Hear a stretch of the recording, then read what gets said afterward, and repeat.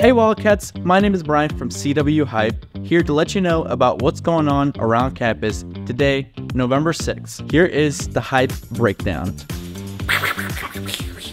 Like that or something like that. Today marks the beginning of winter quarter registration, so if you haven't met with your advisor, you may want to schedule that. Check MyCWU for your registration time slot ASAP and fill it out as soon as possible. That's what ASAP means. To pick your preferred classes. You won't want to miss today's ASCWU's public meeting today at 3 p.m. at the SURC Pit. Get updates from your student government and let your voice be heard during public comment. To kick off Veterans Week, there will be a flag placement along the Walnut Mall at 3 p.m. Meet at the Veterans Center in Bouillon Hall 214 to honor veterans. For tonight's Monday Movie Madness, we have the Teenage Mutant Ninja Turtles Mutant Mayhem. Join your favorite anthropomorphic, anthropomorphic, anthro...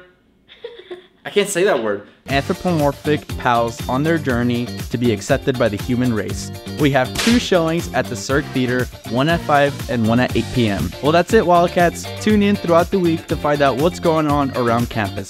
Follow us on Instagram and our Twitter at CW Hype for more.